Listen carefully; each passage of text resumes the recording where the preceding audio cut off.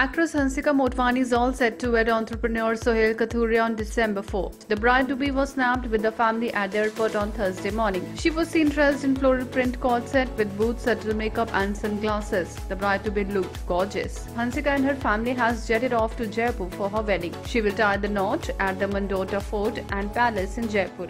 Hansika had recently shared glimpse of her bachelorette party on her social media handle. The wedding festivities of Hansika and Sohael began with Mata Ki Chauki. For the ceremony, Hansika and Sohael opted for red outfits. For the unversed, Sohael had proposed to Hansika in front of the Eiffel Tower in Paris last month.